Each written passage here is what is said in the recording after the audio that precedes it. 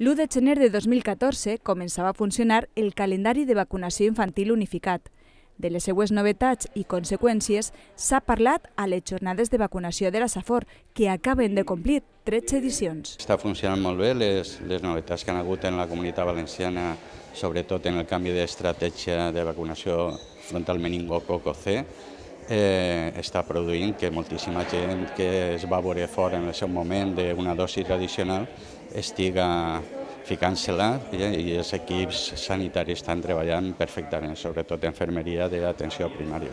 La vacuna contra la varicela i el seu canvi als 12 anys ha sigut altre dels temes tractats. Vacunar als 12 anys, com s'està vacunant actualment, que ja ha passat el 95% de la malaltia, doncs no és una mesura de prevenció. La mesura de prevenció seria administrar la vacuna a l'edat corresponent, que estaria per damunt de l'any, eh, concretament als 12 o als 15 mesos, com es fica la triple vírica. Altra cosa diferent és la, la polèmica que ha sorgit a partir de la decisió de l'Agència Espanyola del Medicament, que és la que té la potestat per a fer-ho, d'exigir al laboratori que assumisca exactament les condicions que té la fitxa tècnica de la seva vacuna. Eh, però des del punt de vista tècnic, la situació de la vacunació incontrolada era la situació més, més eh, incorrecta des del punt de vista de la salut pública, perquè es guanyava protecció a una part de la població, una part pequeña de la població, però les conseqüències d'esta cobertura baixa eh, podrien ser greus per a la població en el seu conjunt. La vacunació en embarassades contra la tosferina o la vacunació antineumocòcica han sigut altres temes a tractar.